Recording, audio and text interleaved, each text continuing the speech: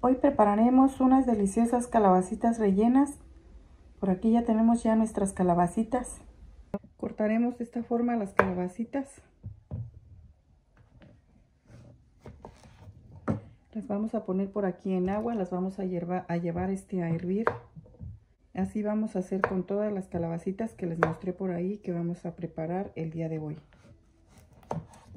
Pondremos un poco de sal, media cucharadita. Aquí las vamos a dejar de 7 a 8 minutos para que estén un poquito suaves y cuando vayamos a rellenarlas pues no estén, este, estén muy manejables. Por aquí han quedado listas nuestras calabacitas, vamos a apagar y a dejar enfriar. Vamos a batir la clara de 5 huevos. Batimos ya las claras, vamos a agregar este, harina 2 cucharadas. Vamos a agregar este, 3 yemas de huevo nada más. Vamos a batir. Ha quedado listo para hacer nuestro capeado. Cuando agreguen las yemas, les digo que no le, que no este, no le den tanta vuelta para que no se baje este, lo que ya este, habíamos batido. Por aquí vamos a quitarle lo de las calabacitas, vamos a quitarle lo de adentro con una cuchara. Como ven es muy fácil de retirarse la semilla.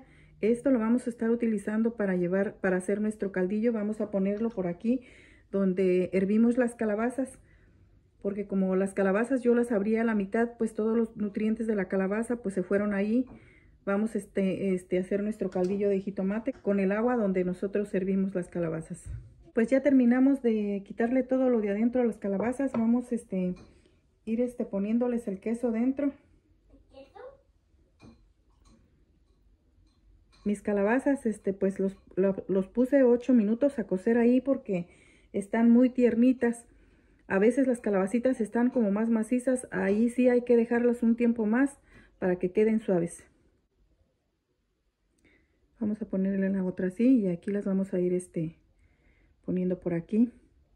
Y así vamos a hacer hasta terminar con todas. Vamos terminando de rellenar nuestras calabazas, ahora sí vamos a pasarlas por harina. Lo que sigue vamos a poner este, una taza de harina, media cucharada de sal, y media de norsuita. Cuando batí lo del capeado no le puse sal porque aquí es donde yo le agrego sal al capeado. A veces le agrego sal, a veces no. Así vamos a pasar nuestras calabacitas por la harina.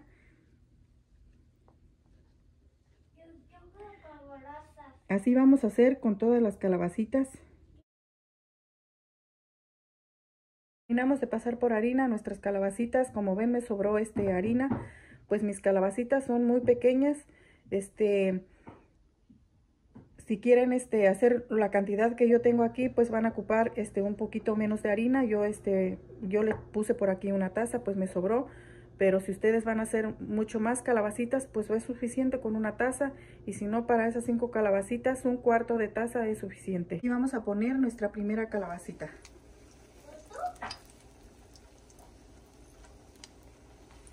Nuestro aceite tiene que estar a fuego medio para que no se vaya este, a quemar muy rápido. Queremos que este, tenga un doradito este, perfecto, muy bonito. Como ven es muy fácil, nada más este, introducirla en el capeado, sacarla con la cuchara y llevarla al sartén. Vamos a poner un poquito del aceite arriba para cuando este, le demos la vuelta pues este, sea más fácil y no se nos ande rompiendo. Por aquí ya están listas, vamos a retirarlas, vamos a ponerlas en un papel absorbente para que absorba toda la grasa. En la licuadora vamos a moler dos jitomates. Están hervidos. Un pedazo de cebolla, un pedazo de, ajo. Vamos a poner a donde hervimos las calabazas y lo que le sacamos dentro de las calabazas porque aquí están los nutrientes que nosotros queremos. Bueno, pues vamos a moler. Aquí pondremos a sazonar nuestro jitomate. Puse media cucharada de aceite de olivo.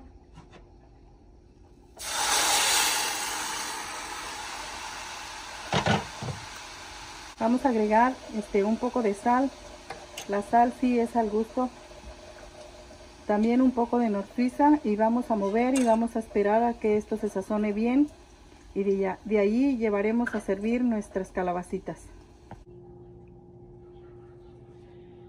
Por aquí vamos a poner las calabacitas.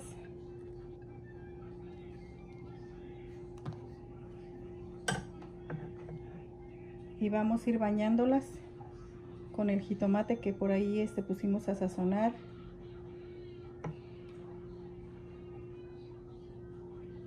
Hoy nomás se las voy a presentar así, sin arroz, sin frijoles. Por ahí, eh, primero Dios, en otra ocasión será. Por aquí vamos a poner la otra.